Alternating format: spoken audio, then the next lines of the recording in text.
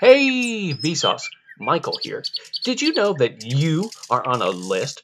That's right. I know you might be thinking, well, gee golly, Mike, me be noticed? Yeah, right. But it's true. You see, object permanence is a person's ability to notice that despite not being seen or heard, things continue to exist. This brain function typically begins to develop when a human baby reaches the 7 to 8 month mark. We all, of course, know that objects exist. I exist, you exist, my car exists. But when you think about that, that also means that a baby could have eyes, but because they don't yet have object permanence to comprehend reflections off a mirror or a photograph taken on your phone, the baby wouldn't know it had eyes.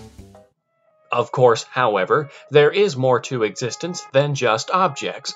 What about metaphysical things, like thoughts, feelings, wants, hates, that text message you forgot to reply to, heck, even the internet itself?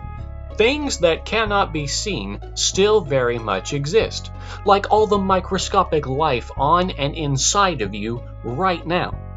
But we also have things like history, science, mathematics, and those things very much exist because we, as human beings, can conceptualize, and that in of itself makes the concepts very real, thereby existing. So, because history exists, that means there is, in concept, a historical annal of everything to ever happen in the universe which means that we are all written down on some cosmic list. Our names, who we are, where we live, etc. It's all there, all of it, everything. You, me, your dog, neighbor, ex, hell, even your bully. And as always, thanks for watching.